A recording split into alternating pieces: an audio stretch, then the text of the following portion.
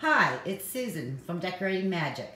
I asked viewers what kind of video they'd like to see next, and one viewer said she'd like to see a bright, colorful kitchen that was not cookie cutter, and mine certainly fits that bill.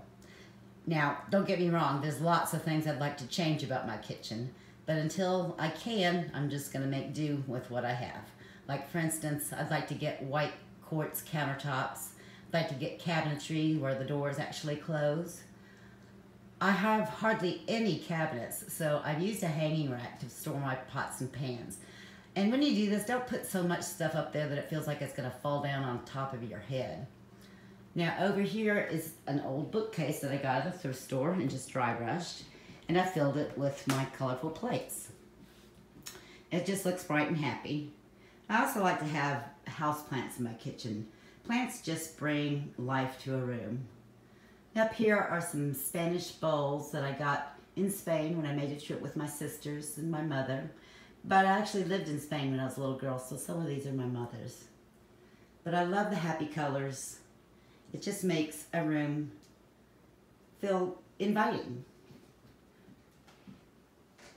The colors on the wall is a Benjamin Moore color called Dill Pickle. Now, let me talk about this table for a minute. I've got a long, narrow kitchen, so we needed a long, narrow table. So this is a table that my husband and I made from a pallet. Now, the boards on top are not pallet wood. Those are actually cedar planks from Home Depot or Lowe's that you would buy for fencing, and I just chalk painted them and sealed them. Here is the other side of my kitchen my kitchen is sort of chopped in half, so the works area is really quite small, as you can see. We call it a one-butt kitchen. I'm going to be putting uh, links to products in my video description, so please look below if you're interested. Now these guys are called First Stones, and they're actually from Italy. You give them to someone for their first house.